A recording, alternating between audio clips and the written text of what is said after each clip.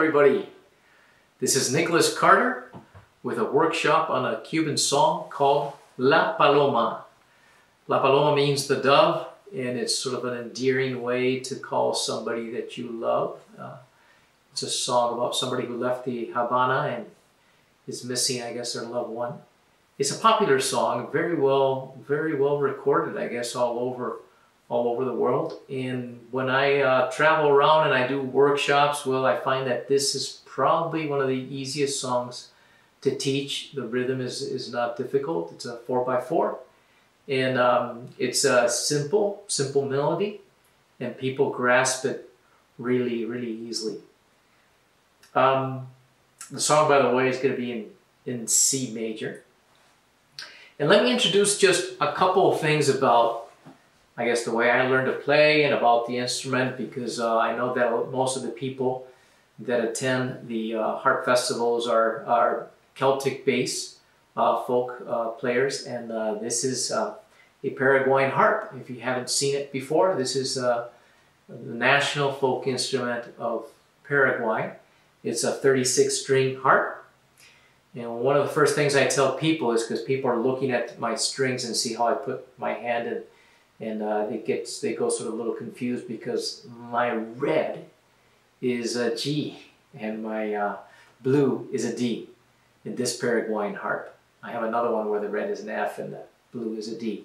But um, anyways, that is just, um, we've got the colors, essentially we just have the colors reversed. No.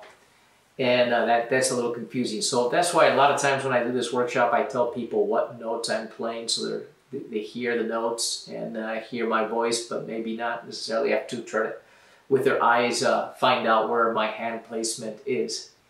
Um, that's one thing that's important to know. The other thing is that, um, you know, the style of, of, how we play this instrument is also different. And uh, I guess if you can see here, my fingernails, they're long in both hands. And so uh, that that changes things also in the, in the, way we kind of approach the strings. And the last thing is that our strings are closer together. So there's certain hand positions that um, we do that are not necessarily comfortable for people who who play the the, the Celtic harp. So um, this song, by the way, and I'm uh, hoping that what will be included is a download of the music. It's a uh, available uh, in my book, Melodías del Arpa. You can find this in my website too. It has a lot of uh, Latin American melodies. Uh, this was a, a, collaboration with Sharon Thormahlen, and uh, we adapt. She adapted many of the songs that I play so that the fingering and the arrangements are accessible to people that play the Celtic uh, lever harp. And uh, so the song is in here, and I hope I can also share the music and you can download it and see the music while I'm playing this. And I just wanted to say that there's a hand position that we use to play melodies in the Paraguayan style, um, which is sort of, you hold on to the octave G, G, right? My thumb is my in the high G, and then my fourth finger is on the lower G. And then we play on the sixth right? So it's got the one, I guess, the six, and the eight. And uh, so the melody is on the on this octave, and the harmony is. And because of the fingernails, then we you know we we can do some of the long notes, basically. That, that type of sound effect. So when you look at the uh, at the music, you will notice that this this position is there. It's like a cookie cutter position. We kind of get used to it. I know that in some harps, playing octave and this position is kind of awkward. And so what I suggest to people, and you'll, and, is to learn the melody just very simply. Instead of playing the octave, just play single notes. You're just looking at the top note and these little, and this of this position, and you're just reading that basically, and you'll be able to, to play the song. So I'll start out by first playing the very simple, just just one single note to play the melody and the second time around you'll see what the feel is like when you play with the in this in this position.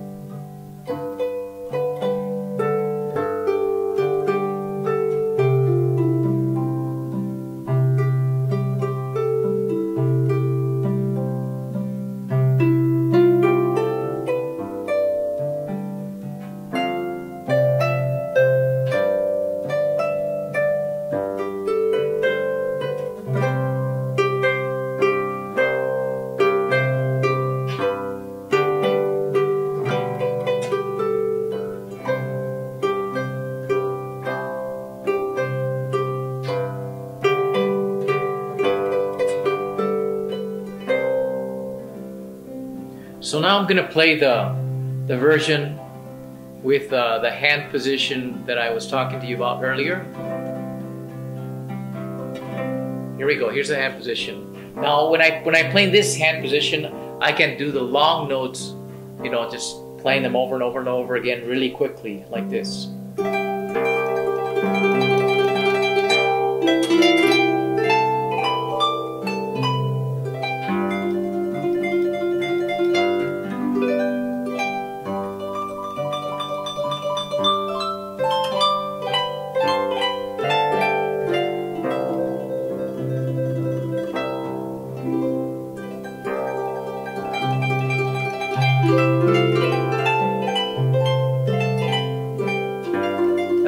Time was played a little better.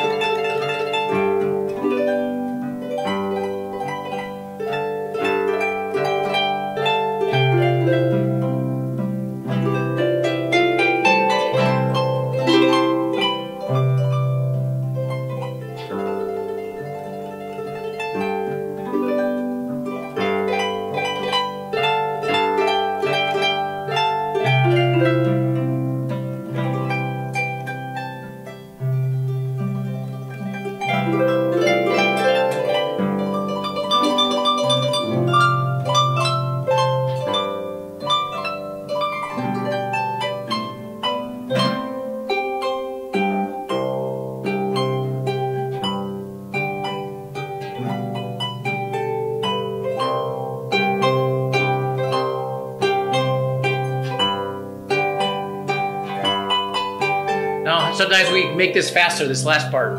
Like,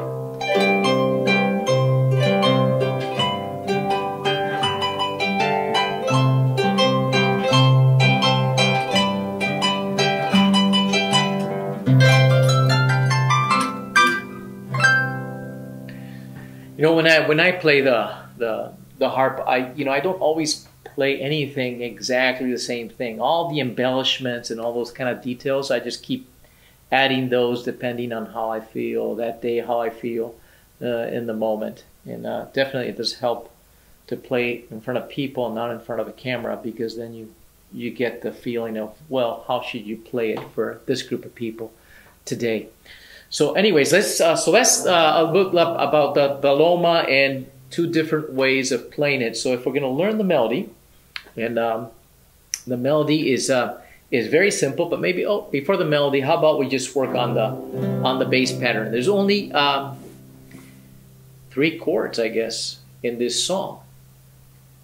So the chords are also um, written in the music on the top. I normally, when I look at uh, uh, music, I follow the chord charts, you know, and so you can easily learn this song because the bass pattern, you don't have to read every single note in the bass pattern. All you have to do is know the pattern and then know when the changes come, and that's that's pretty much about it. So this one, if again we have this this octave position for the bass, uh, uh, the one would be a C, and we're going to play a C chord basically, and then so our eight, our thumb would be on another C, and then our index finger, it's going to be on the one, two, three, four, five, on the five, which is the G. And so it sounds like this. So it's the one, five, eight, five, one, five, eight, one. So it's C, G, C, C, C, G, C, G, C, G, C, G, C. So let's just work on that for a little bit. Keep the steady beat going. Bum, bum, bum, bum, bum, bum, bum. This is a four by song. Here we go. So now I'm just gonna we're gonna just practice playing the, the bass pattern of this song. I'm gonna sing the melody. La, la, I'm in C. I'm in C and I'm in C until I go to G. Now same pattern here in G. I got G, D, G, D, G, D, G, D, G. uh, G, Stay in G, and I stay in G, and I go back to C. So it's all just a pattern that we have to remember. C, C, the same melody repeats over again. La, la, la, la, la, la, la, la. You see the change to G. In G.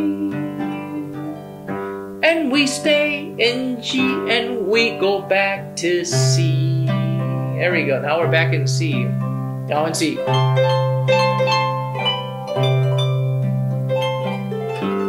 G.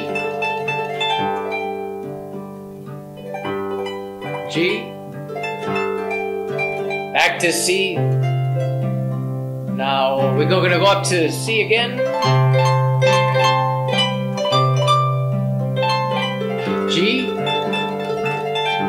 got it, right? Back to C.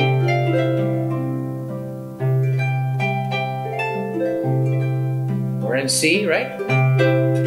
Up to G. And now to F.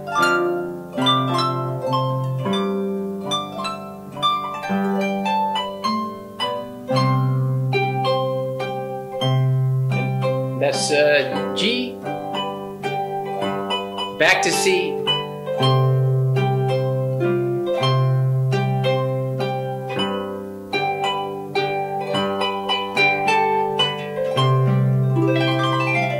I hope you got that. I hope you'll be able to play along with me that little sequence where I'm just kind of calling out the little chords changes. So that's the bass pattern. And then you get that groove in your system, you practice that a lot over and over and over again, then you're not even thinking of the left hand. That's kind of how, how I've always tried to work. I've tried to make sure I get the rhythm of the song. This is a bass pattern that's sort of on auto, automatic pilot. I don't have to think about it anymore, and I can just use it anytime I want. The great thing about this song is only three chord changes. It's mostly a, a C going to a G. Only once does it go to F major. Okay. We're, by the way, we're in the in the key of uh, C major. I should have mentioned that when we started. Okay. So now let's just work on learning the melody of the song. Okay. So I'll make it very simple. We're um, in G G on E.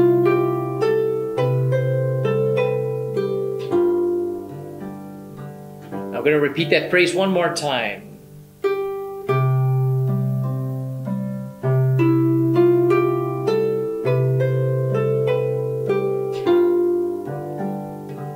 Again.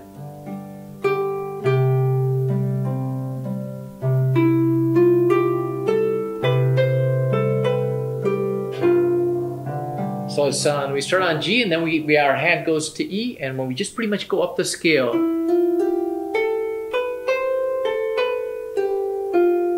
Okay, one more time. We're going to do this is called a little drilling bit until you almost mem you memorize this. G G on E, going up.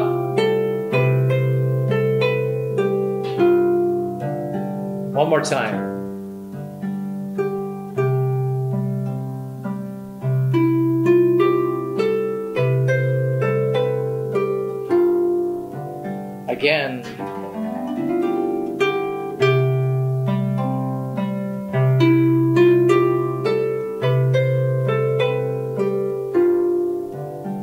More time.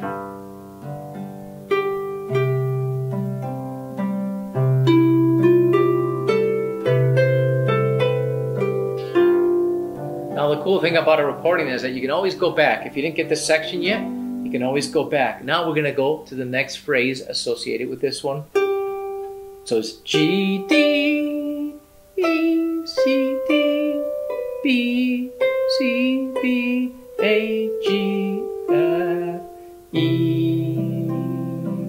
more time, this phrase.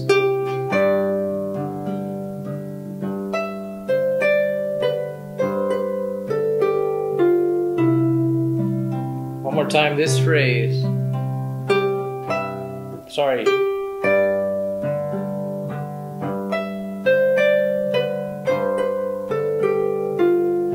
One more time, this phrase with me. Here we go.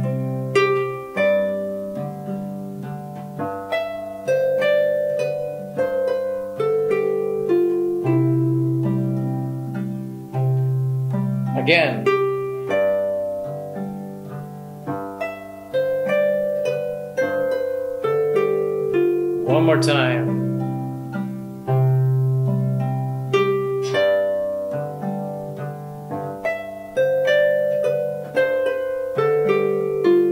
So one of these times is going to stay. One more time.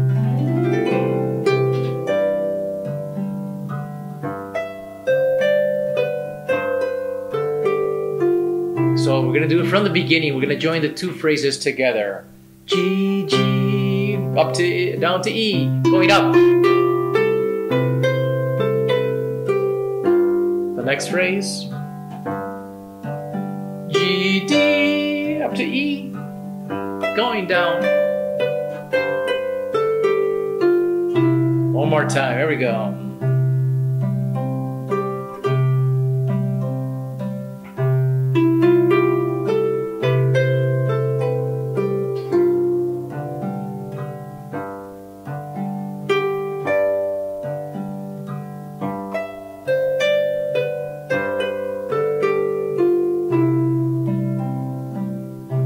Again.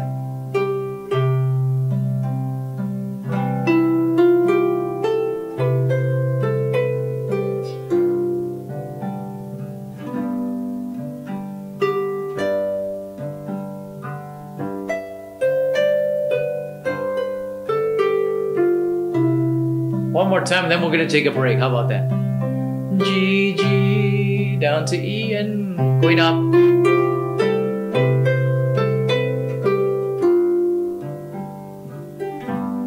Now is GD. E.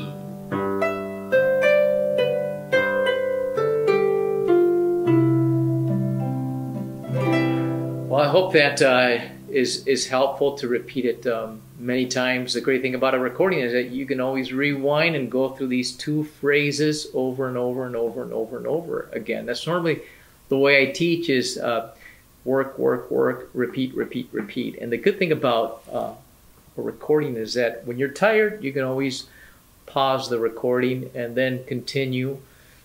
Maybe working on this the next phrase a little bit later in the day. Take a break. I always think it's it's great not to just drill, drill, drill, and, and then get your uh, uh, arms worn out. I think it's great to practice a little bit, relax, come back, practice a little bit, relax, and that's sort of my that's been kind of my approach and my my suggestion.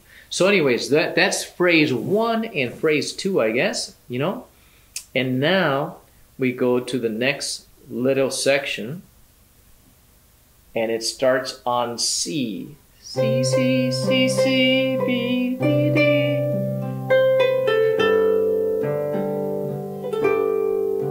I did a little twirl there. You you know if you want to do it, it's just a little decoration. But here we go again. This section.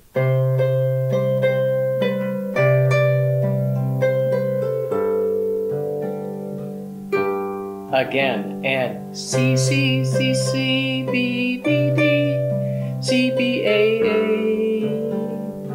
G again. Mm.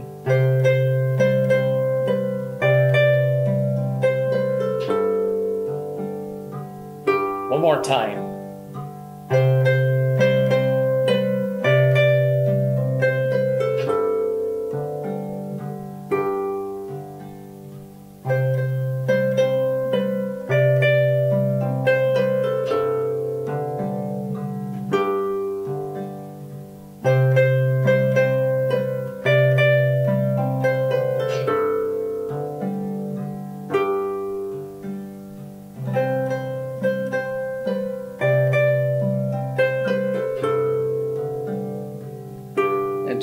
That's uh, the other phrase um, that follows. And my suggestion, by the way, is if you if you don't want to work with two hands at the same time, the first time you go through this with me, just play along with the with the right hand get the melody used to, or play along over and over with the left hand until you finally feel like you if you feel like you want to join the two hands together. Again, this is everything is is a process and when you you do a workshop you've got all these people and then you go and you work with each individual student based on where they're at.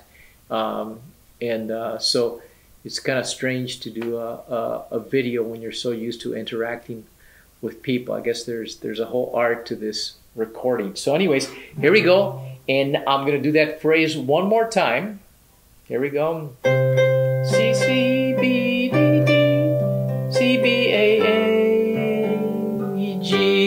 more time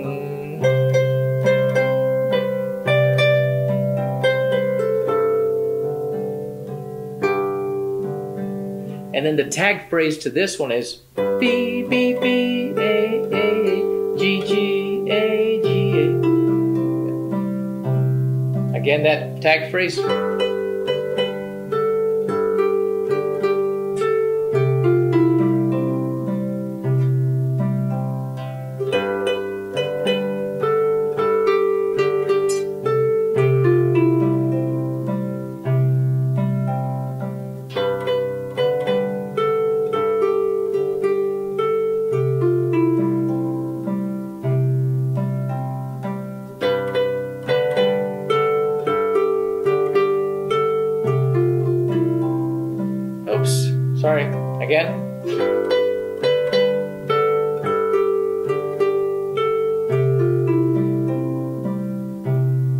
Again.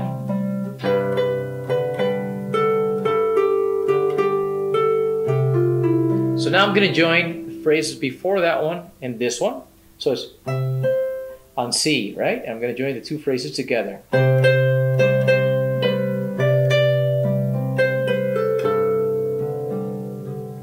Now the one I'm starting on B,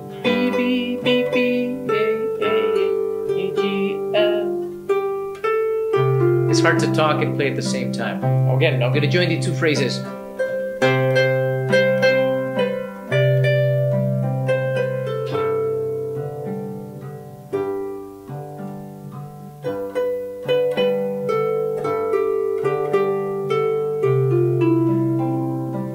So hi, here we're going to continue uh, the next little part of the song, it goes, it's uh, the section C. It goes. Going to do it one more time. Ba, ba, ba, ba, ba, ba. G, G, G, A, E, G. And then it's going to go up the scale. So I'll just play it. One more time.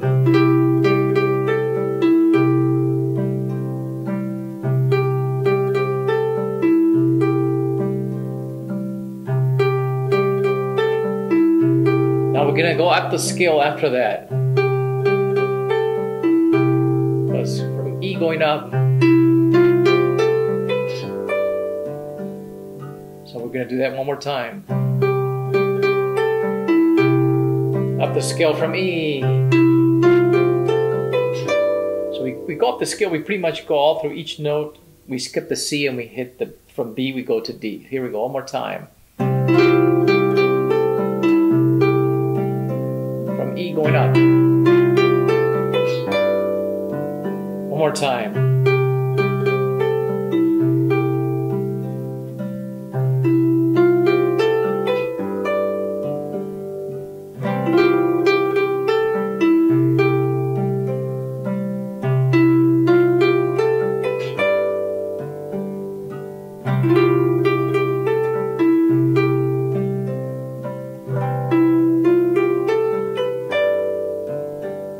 Now here we hit, only time we hit F is right here, when we hit the G.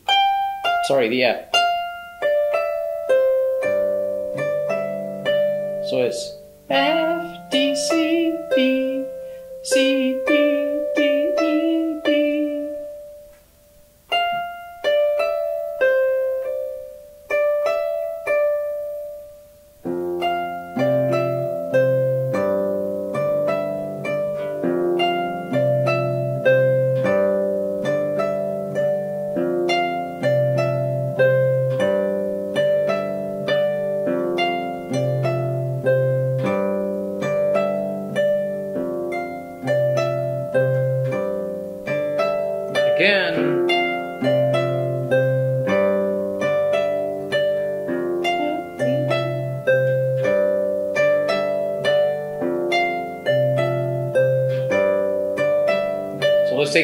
phrase before. We're going to tag it along here.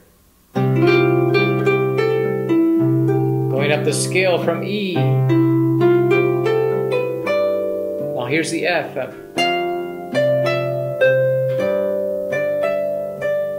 All right? And the last phrase. So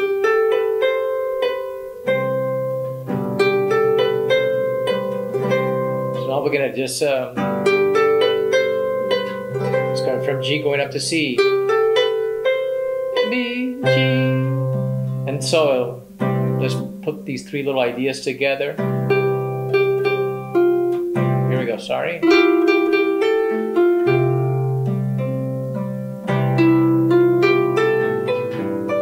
On the F. From G going up. One more time.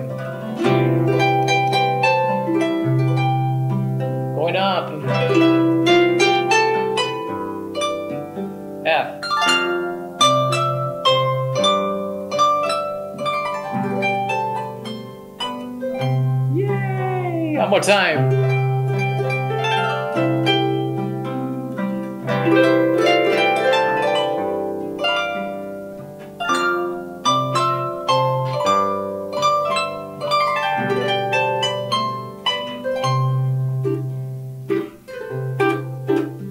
Okay, one more time. That last phrase. You almost got the entire songs, folks.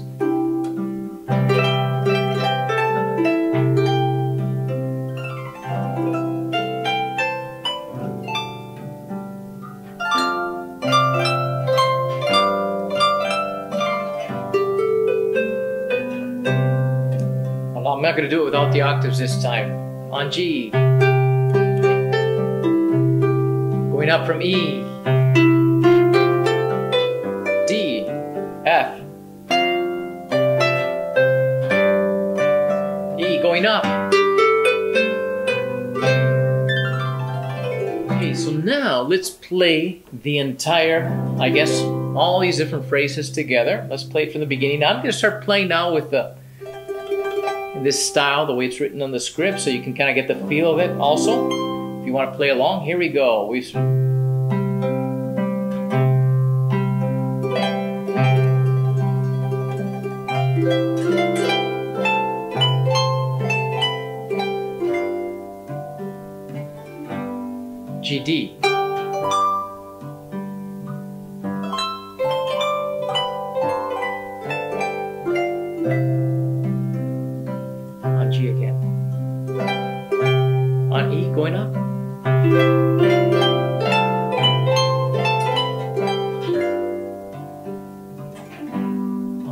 On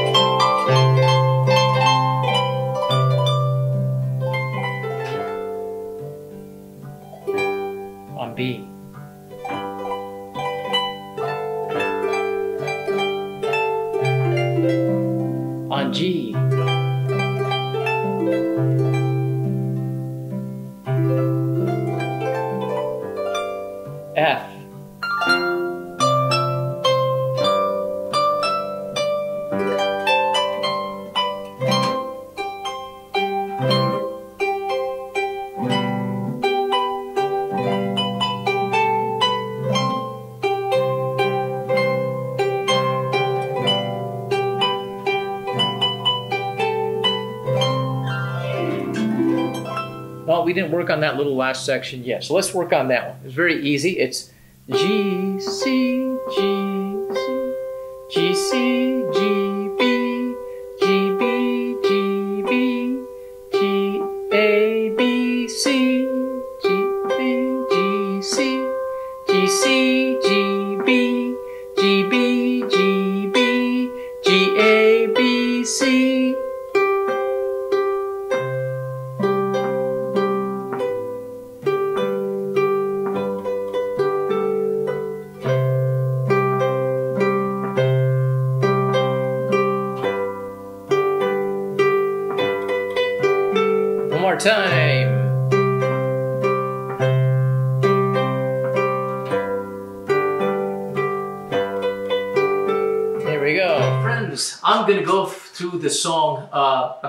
times, and this time just kind of like having a little more freedom. I've kind of like been playing in a very sort of controlling myself to be as simple as possible so that you can learn the song.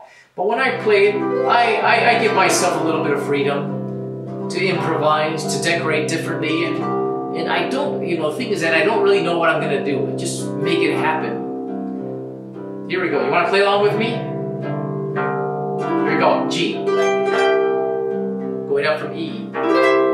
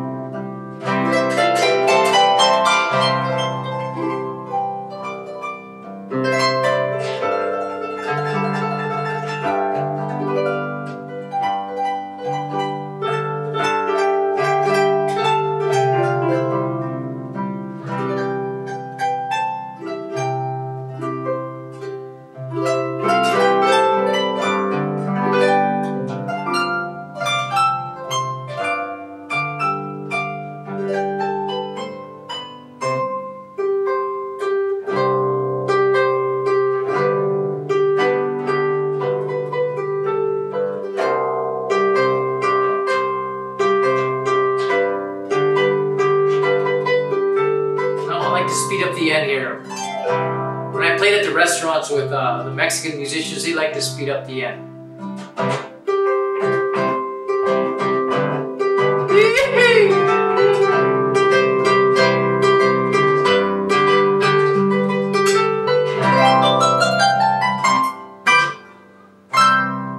Now that's the style, that's a very Mexican thing, a way to end. Basically, you go up the scale. That's that's kind of a, a very typical end. I mean, there's so many different ways that you can maybe discover that you would like to end a song. Maybe you want to fade it away very gently.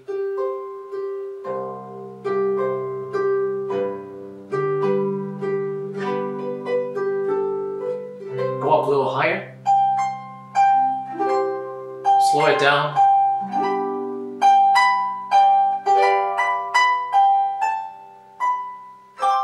That's another way to end it. And there's so many different things that that that when we play we do. I mean, if I if I do, I could play this kind of tremolo version.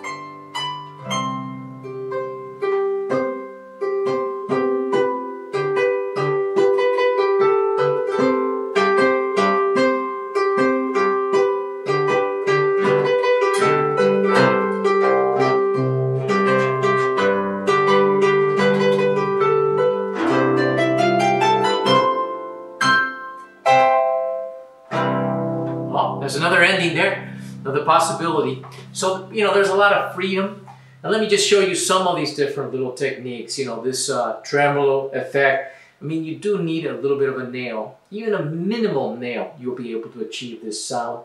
Uh, I, I, usually support a little bit my hand. Can you see my hand support a little bit on the side so there's a little bit of steadiness? And then with the nail, I go back and forth, back and forth. The movement takes place from the knuckle. It doesn't take place in the middle of the finger. It's, it's the knuckle that moves back and forth. And uh, it's just practice. The pad of my finger touches the next note that I don't want to play, right? I just, I'm just playing one single note here. And so by touching the pad, the next, my pad touches the next note is a way to kind of control it from moving any, anywhere else. So that's the, the tremolo effect that I was using a little bit. Then a little staccato sound effect here.